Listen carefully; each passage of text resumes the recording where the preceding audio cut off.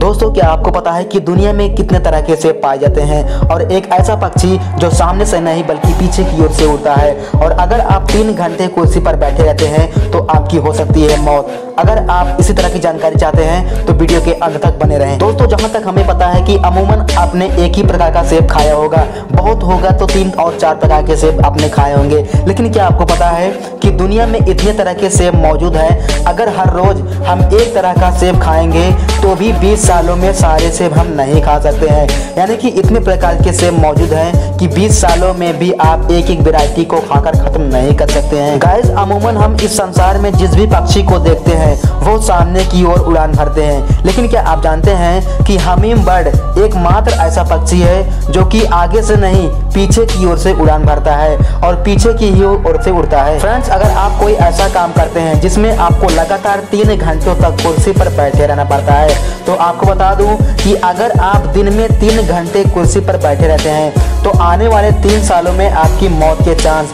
50 percent तक बढ़ जाते हैं। तो फ्रेंड्स लगातार तीन घंटे तक कुर्सी पर बैठे रहना आपकी मौत का कारण बन सकती है। दोस्तों, ये बात तो हम सभी को पता है, जब हम ज़्यादा हँसते हैं या फिर ज़्यादा रोते हैं तो दोनों ही केसों में हमारे आँखों से आँसू निकलते हैं। लेकिन क्या आप जानते हैं कि खुशी का पहला आँसू दाहिनी आँख से निकलता है, जबकि दुख का पहला आँसू बाई आँख से निकलता है? गाइस माँ बेटे का प्यार कितना गहरा होता है, आप इसी बात से अंदाज़ा लगा सकते हैं कि जब किसी प्रेग्नेंट महिला का कोई अंग डैमेज हो जाता है तो उसके गर्भ में पल रहा बच्चा अपनी सेल्स के द्वारा उस अंग को सही कर दे रहा है। गाइस माँ और बेटे के प्यार के लिए एक लाइक तो बनता है। गाइस घोड़ों की रेस को देखना हर किसी को पसंद होता है। लेकिन क्या आप जानते हैं कि लाखों साल पहले घोड़ों का आकार बिल्ली के बराबर हुआ करता था? जी हाँ दोस्तों, यह एक ऐसा फैक्ट है जो आज तक आप नहीं जानते थे।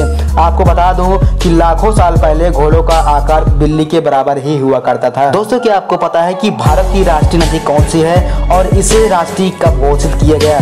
तो आपको बता दूँ कि 4 नवंबर 2008 को गंगा नदी को राष्ट्रीय नदी के रूप में घोषित किया गया। गाइस, क्या आपको पता है कि स्वतंत्र भारत का सबसे बड़ा अंतिम संस्कार कौन सा था? तो आपको बता दूँ कि हिंदुस्तान के बापू कहे जाने वाले महात्मा गांधी का अंतिम संस्कार स्वतंत्र भारत का सबसे बड़ा अंतिम संस्कार था, जिसमें करीब 15 लाख लोग सड़क पर चल रहे थे और 10 लाख लोग एक साथ यात्रा में चल रहे थे। तो महात्मा गांधी जी का अंतिम संस्कार स्वतंत्र भारत का सबसे बड़ा अंतिम संस्कार माना जाता है। तो अगर आप फैक्ट से जुड़ी ऐसी ही लगातार वीडियो और चाहते हैं तो हमारे चैनल को सब्सक्राइब करके रखें और बेल आइकन को ज़रूर प्रेस करें ताकि जो भी फैक्ट से जुड़ी इस तरह की धमाकेदार वीडियो अपलोड करूँ उसका नोटिफिकेशन आप तक सबसे पहले पहुँचे